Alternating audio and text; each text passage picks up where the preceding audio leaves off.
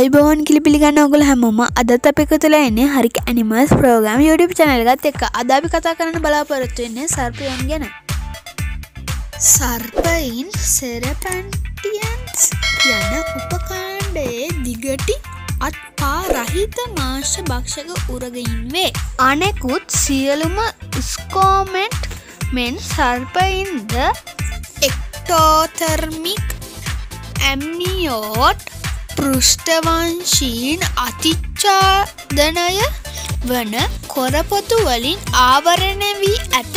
බොහෝ සර්ප විශේෂයන්ට කටුස්සාගේ මුතුන් මිත්තන්ට වඩා සන්ධි කිහිපයක් ඇති හිස්කබල ඇති අතර එමගින් හිසට වඩා විශාල ගොදුරු ඔවුන්ගේ ජංගම හකුවලින් ගිල දැමීමට හැකිවේ.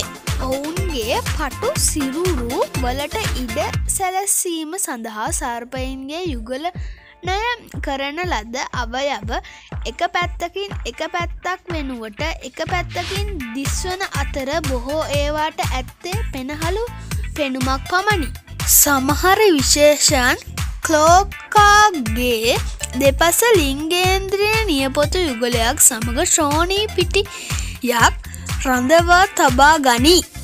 කටුස්සා අභිසාරී පරිනාමය තුළින් ස්වාධීනව අත්පා නොමැතිව හෝ අත්පා විසි පහක් පමණ දිගින් වැඩි වූ දිගටි ශරීර වර්ගී පරිමාණය වී ඇති අතර එමගින් කකුල් රහිත කටුස්සාගේ පෙළපත් රාශයක් ඇති වී තිබේ.